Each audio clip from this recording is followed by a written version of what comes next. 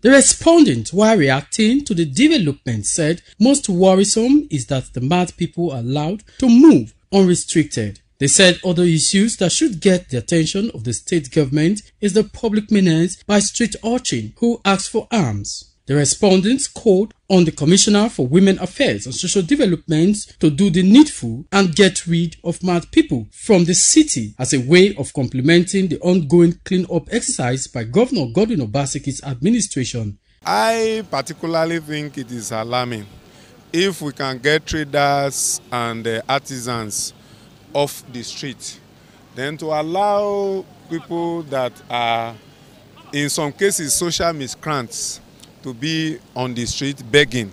You understand? It's uh, alarming. If there is provision for social welfare, they can be kept in a particular place where their needs could be met. The government is supposed to know that um, they have to take these people to the place they ought to have taken them to, like psychiatric. Because leaving mad people in the street with normal people, no, this can happen. Are you getting it? Just imagine maybe a woman who is, who is just carrying a baby. A madman may just go eat the baby or one or two can just happen. So it's not that too good for normal um, people to live with mad people in the streets. there are mad people all over the world. It's not only in nigeria or in benin city in particular. But how do you control this menace? Is by way of government getting themselves involved. There are curable ones.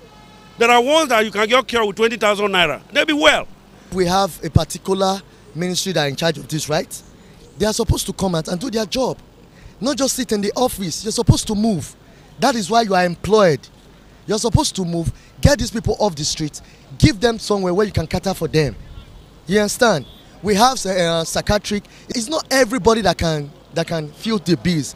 Government should come into these areas and assist. Get these people off the streets after several attempts to get the comment of the Edo State Commissioner for Women Affairs and Social Development on the issues failed. Sources close to her office said she will speak on the development on a later date.